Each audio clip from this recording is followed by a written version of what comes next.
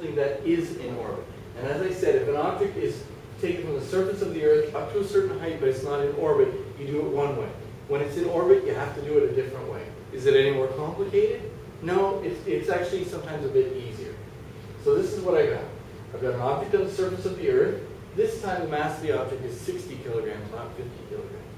I've taken the object up to this height, and I've given you that distance relative to the center of the Earth, which is what you need.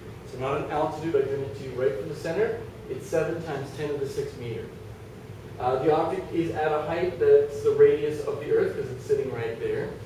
And what I want to do is find out uh, how much work it's going to take to put it in orbit, and find out how fast it's got to be pushed in order to get into orbit. And again, that's not realistic. You can't take an object of 60 kilograms and throw it up at a certain speed and expect it to go into orbit because we've got air resistance. But this is the beginning part of sort of planetary mechanics. So if I look at my example here with the chicken as I used before, I need to know how much energy it has where it is, and how much energy it has where it needs to be, and what the difference is. But in this case, when it's up here, it doesn't have just gravitational energy. It has gravitational energy and kinetic energy. Is that going to make it any more complicated? No, actually, when you add these two up, and you can probably find the derivation somewhere online, but when you add these two up, it ends up giving you a new formula.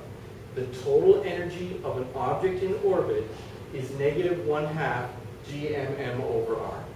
So it's very simple. That's the formula. So how is it different than before? I calculated the gravitational energy of the chicken here using the total energy is gravity, negative gmm over r.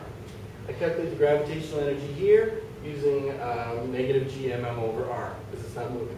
But in this height, at this altitude over here, it's moving.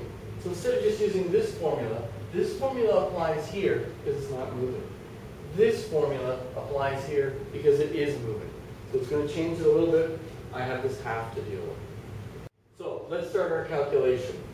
Okay, what I got to do is I want to find the A, find work to go into orbit. So I need the total energy at A, which in this case is the gravitational at A, because it only has gravitational energy at A. It's not in orbit and it's not moving. So that equals negative G M M over R. And I'm going to use 6.67 times 10 to the minus 11 for the gravitational constant. Um, M is going to be the mass of the Earth times the mass of the satellite, which is 60 kilograms in this case. And what R do I use? Well, that's the surface of the Earth. The distance from the center of the Earth would be the radius of the Earth. So I'm going to use that R. If you calculate it, you should get negative 3.7 times 10 to the 9 joules. Now I need to find the total energy at B. The total energy at A was just the gravitational because that's the only kind of energy I have. The total energy at B, well, it's in orbit and it has height, so it's kinetic plus gravity, but I got this great formula here that simplifies everything. If it's in orbit, this is the total energy. So it's going to be negative 1 half GMM over R. And keep in mind that um, the R in this case is this, the radius of orbit, because it's up here now. So I plug that in, and I should get negative 1.7 times 10 to the 9 joules. The mistake I get a lot on tests is that people find the total here, they use negative GMM over R. They find the total here in orbit, but they just say it's GMM over R, like they did when it was just sitting there or put up there. It's in orbit. When an object's in orbit, the total energy is given by that formula.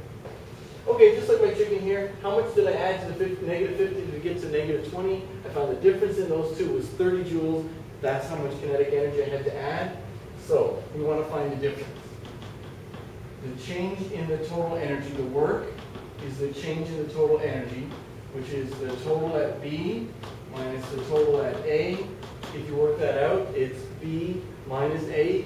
Don't lose track of the negatives. Negative 1.7 times 10 to the 9 to the 9 minus negative 3.7 times 10 to the 9. You'll end up with an answer that is positive 2.0 times 10 to the 9. And I know some of you are doing these calculations and saying, my number's a little bit off. I've done some rounding. I'm just trying to make the point clear of what we're doing. So this is how much work it takes I have to add that much energy to the object here to get it to go up in there and it will go into orbit.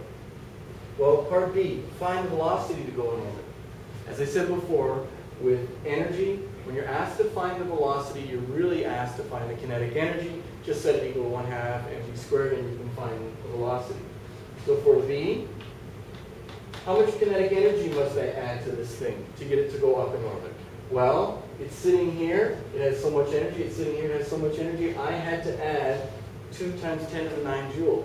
So that could have been done as kinetic energy.